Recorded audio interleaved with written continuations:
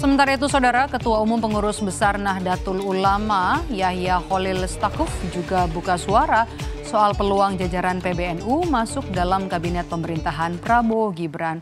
Gus Yahya berkelakar jika NU punya potensi untuk mengisi semua kabinet pemerintahan Prabowo Gibran nantinya. Ia menegaskan NU tidak bisa disamakan dengan partai politik.